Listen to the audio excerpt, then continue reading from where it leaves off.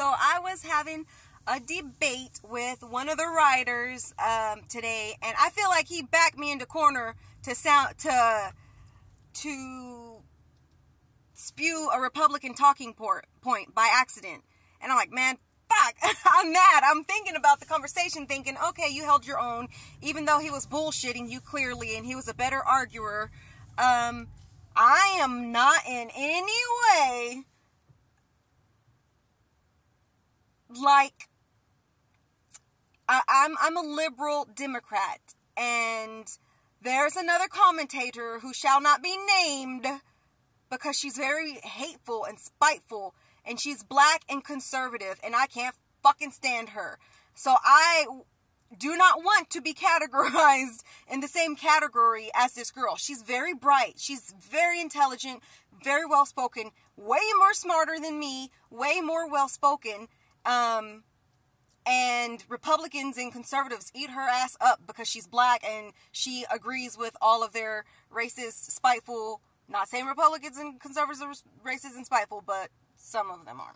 Um, viewpoints. And i felt like i was backed into a corner. I'm try i try to be objective. I try so hard. But i feel like i was tricked into saying something that might I, I should have thought through before I my little ass was just trying to argue and I think that I should have stopped and thought before I formulated an opinion on a policy that I really don't know nothing about but the way he did it he tricked me into saying some some dumb bitch shit and I'm kind of mad at myself. I I don't know. And then I choked on Bernie Sanders' name. Um, I'm like Ben Sanders, and I'm mad at myself. You know when you get an argument and you think, "Damn, I fucked this up, I fucked that up." Well, it wasn't an argument; it was debate, and I was debating against somebody who was probably well practiced, way smarter than me, and a way better debater who's probably taking it easy on me.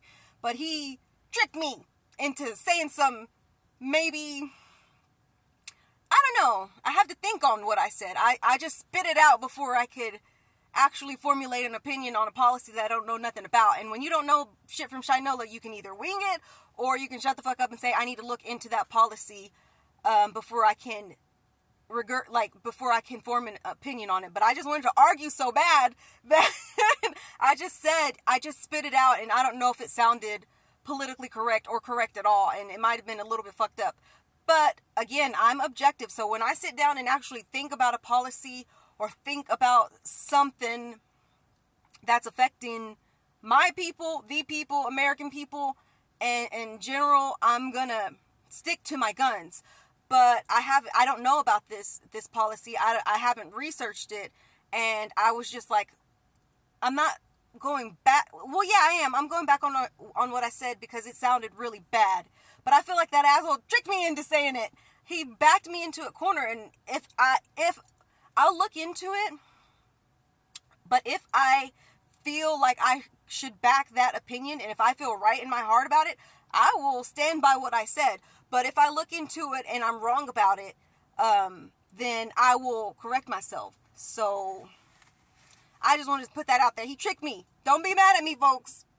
Um, I'm trying, but um, yeah. Don't be trying to uh, bullshit me because I can bullshit too. But I'm a little bit out of the loop on all things real because I live in this fucking bubble and I don't even know if the things presented to me in life I are are real or not. But dang it,